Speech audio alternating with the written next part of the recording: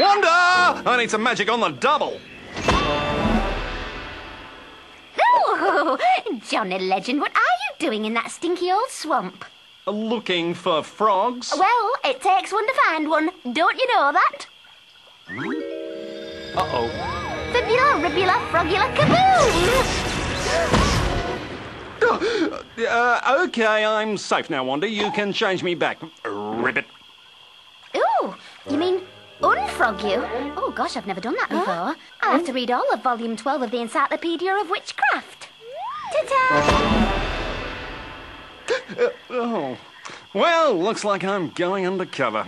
Ribbit. You sure you're going to be okay? No, fine, no problem. Ribbit.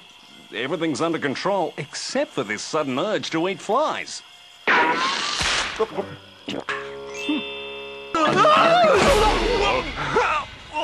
This leapfrogging is harder than it looks. Ribbit. Huh? Now we're getting somewhere.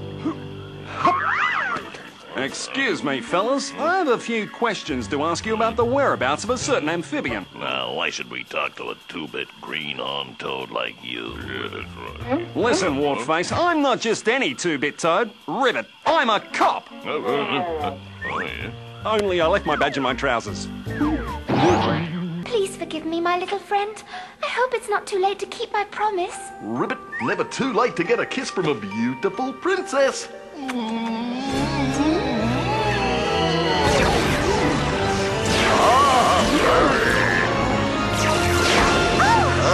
you're not a frog! Ribbit. Well, not anymore, my darling, for you have broken the magic curse put upon me by a jealous witch. Oh, isn't it romantic? One kiss and an ugly warty thing turns into a handsome prince. Yeah, yeah, that's nice. But what about this ugly warty thing? Oh, I've found the antidote. You have to be kissed by a beautiful princess. Well, I'd like to help, but I've got my own prince now. And I can't go around just kissing anybody. Well, you could pass for a beautiful princess. Oh, flattery will get you nowhere, Johnny Legend. Okay, okay. I know I don't deserve it. I'm sorry about the coat. Hmm, well, you were very brave, risking your life to save me. But no more broken promises. I promise. Ribbit.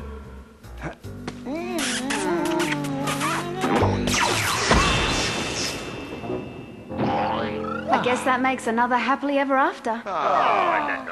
No, I'm covered in swamp slime. You got a comb on you, Chris?